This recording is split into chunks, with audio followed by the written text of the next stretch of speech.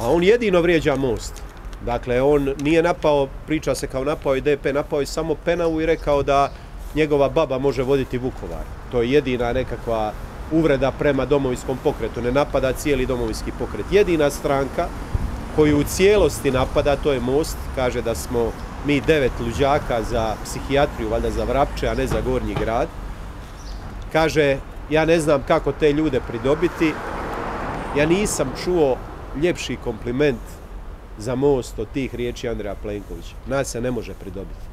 Dakle, poštene ljude se ne može kupiti, poštene ljude se ne može pridobiti, pošteni ljudi su luđaci u ovakvoj politici i mnogi će reći pa ovaj čovjek je lud, pazite na koga on juriša.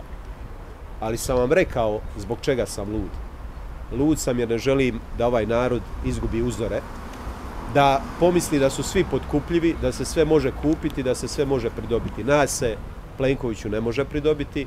Mi smo u ovoj kampanji predstavljali svoj program, nikoga nismo vrijeđali, vidimo što on nama poručuje.